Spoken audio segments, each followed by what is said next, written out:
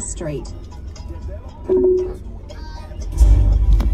So guys, we are on our way to Gold Coast.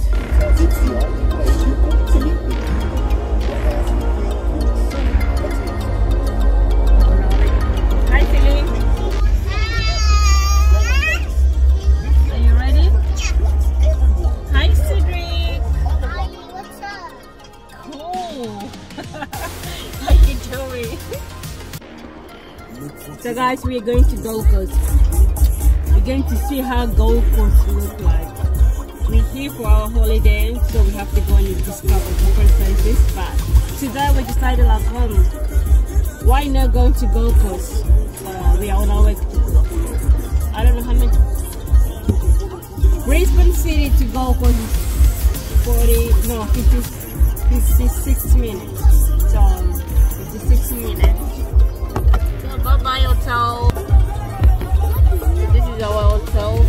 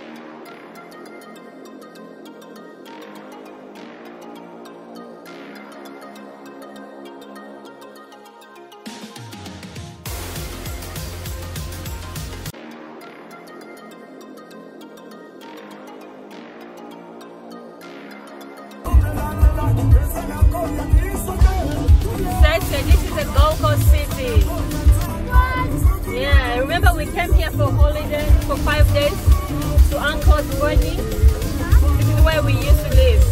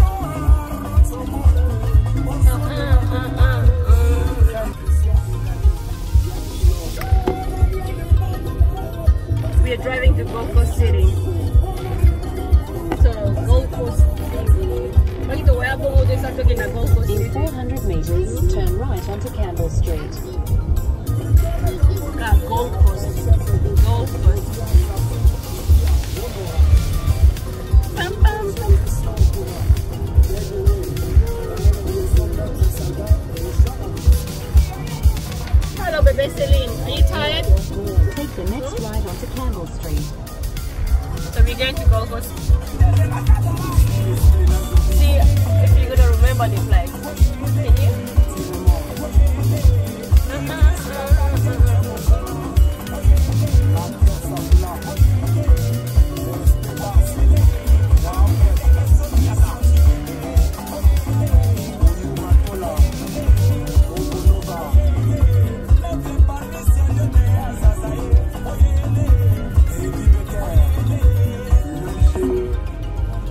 In 500 metres at the roundabout, take the third exit onto Upton Street.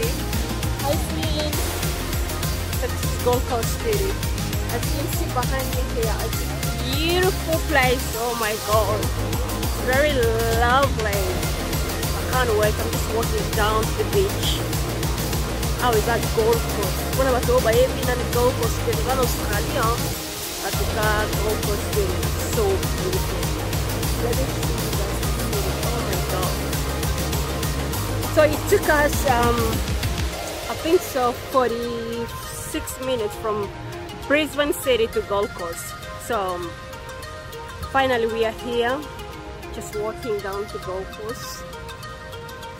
It's very lovely place, very beautiful. I love it. I love Gold Coast. So guys, I'm going to show you the pictures, the image that I take on our way here it's very nice and beautiful so this is my little boy here Cedric just the boss hello how are you and then this is my princess Celine hey Celine okay so lot little people around here some people they don't like their picture to be in the, in the videos or their image to be in the videos so I'm gonna stop my video from here because I just don't want to be in trouble so I'll see you later on. So guys, let's browse in. So we are here then in a beach. This is Gold Coast Beach. Let me just show you guys. It's Gold Coast Beach. Yes.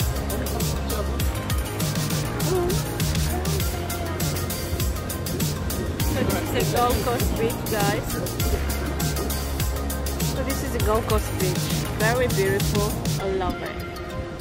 It's really, really lovely. Pues. ahora ya a the come let's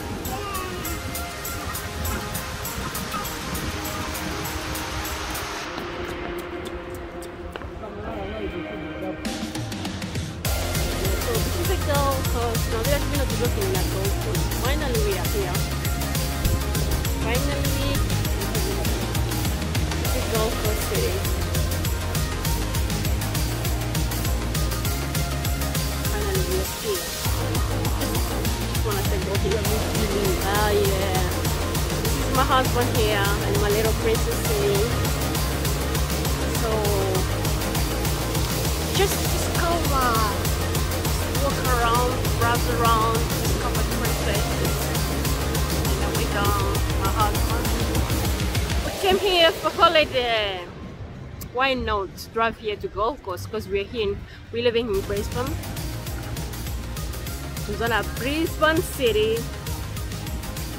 komema na brisbane ti gold coast ezozwa 45 minute na speed ya 100 110 atuka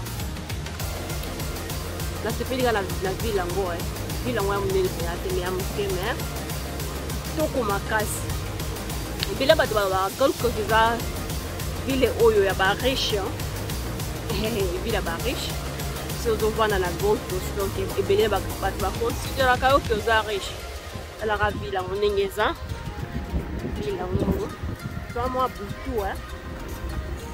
mwa butu hmm, mwa butu sotoa na mwa moi me omonaka wabilango elengi alors sana wawa tuzoenjoy kaka enjoy the moment so na okende na bana baki nani basakala moke baserenikwe po mwa malili eza awa mwa malili mopepe malili ya kitoko eza oyo ati alembi tala nde bidendango nde kaka eh. akoro ye bidenga seli na nga mwana na ngai eyo mpe ye eh, soki awa Hmm.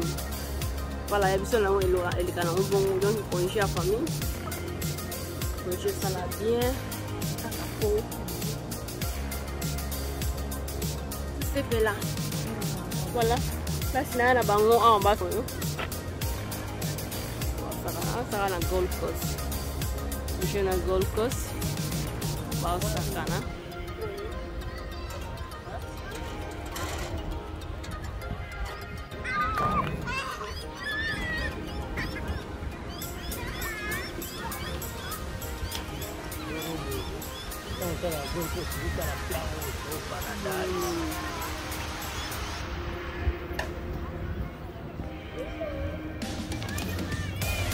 so babiloko oyo déjà das attractif baya omona ngo boy molai ono go playground go the beach in front of you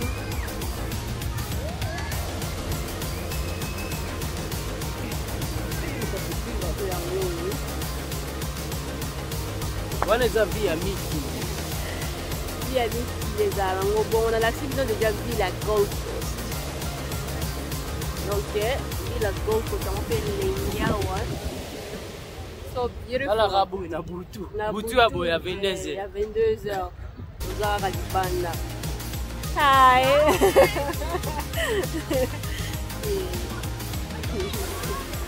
bana babanga be esangana bitenotu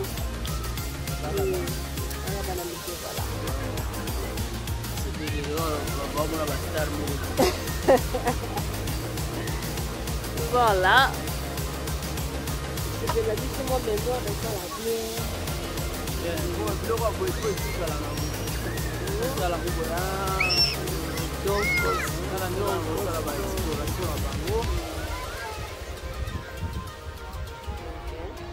bien hi